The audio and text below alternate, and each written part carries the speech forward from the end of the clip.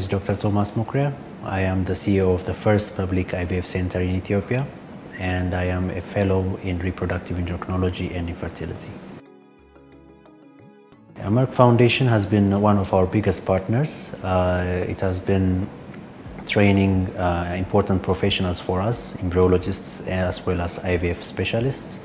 Uh, it has trained three of our embryologists, uh, which is all we have right now. And uh, it has, it has also trained two of our IVF specialists. So it has been playing a very critical part in establishing uh, this center in terms of the human resource. So these embryologists are playing a very important part. Uh, they are doing IUIs, they are doing IVFs, uh, and uh, they are really playing a lot of uh, role in infertility treatment.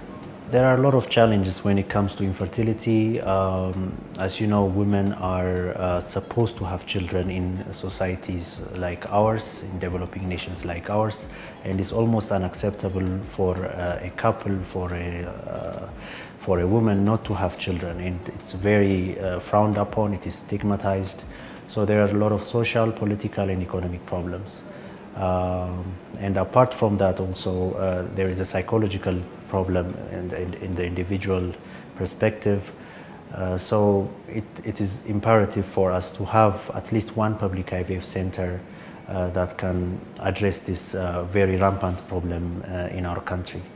And uh, Merck Foundation um, has played a big part in this by increasing the capacity of the, our human resource, both in the embryology side as well as the IVF specialists as well.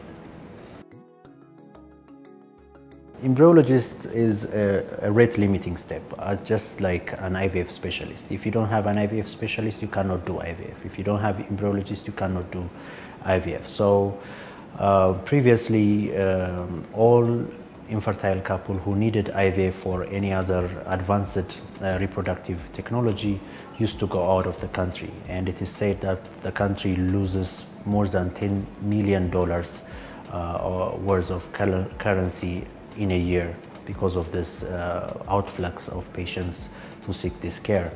But now that we have this uh, public facility, uh, we like to think that this problem uh, we, are, we are contributing to the alleviation of this problem somehow.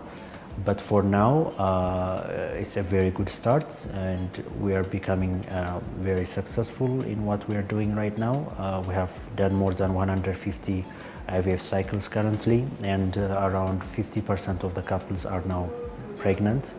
So it's a very good success and uh, the, the quality of the training also shows in the success as well. Uh, our embryologists are, are doing very well as, as our IVF specialists as well. So uh, this is uh, very important for the country as a whole.